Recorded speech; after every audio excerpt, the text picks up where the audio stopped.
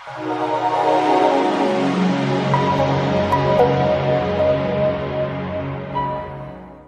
మంది కంటెస్టెంట్స్ ఉన్న big boss season three షోలో నుండి ఒకరు ఎలిమినేట్ అయ్యే రోజు రానే వచ్చింది.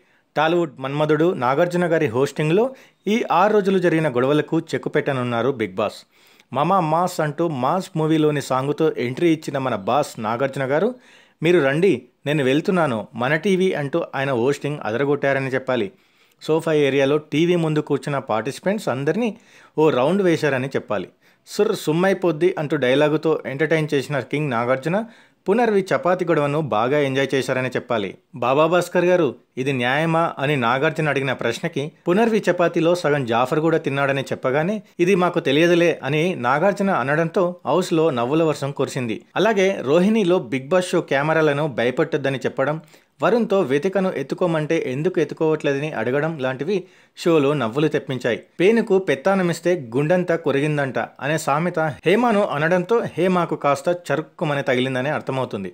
చివరగా రవికృష్ణ మహేష్ విట్టాను కర్రోడు అన్న విషయంపై నాగార్జున రవిని చాలా గట్టిగా క్లాష్ స్పీకర్ అని అర్థమవుతుంది. నీ మీద నాకు చాలా కోపం ఉందని డిసప్పాయింట్ అయ్యానని జాతి కులం మతం రంగు జెండర్ ఇలాంటి భేదాలు బిగ్ బాస్ హౌస్లో ఉండవని నాగార్జున గారు రవికృష్ణ చేసిన తప్పును ఎత్తి చూపడంతో రవి కంటెస్టెంట్స్ ముందు తలదించుకున్నాడు. ఇక నాగార్జున గారు పదహైదు మంది కంటెస్టెంట్ చేసిన తప్పులను విచారణ చేస్తూ వాళ్ళతో ఎలాంటి గేమ్స్ ఆడించారో చూడాలంటే ఈరోజు బిగ్ బాస్ ఎపిసోడ్ చూస్తే తెలుస్తుంది. సో చూశారు కదండి మరిన్ని బిగ్ బాస్ అప్డేట్స్ కోసం మా నైన్ రోజెస్ మీడియాని సబ్స్క్రైబ్ చేయండి.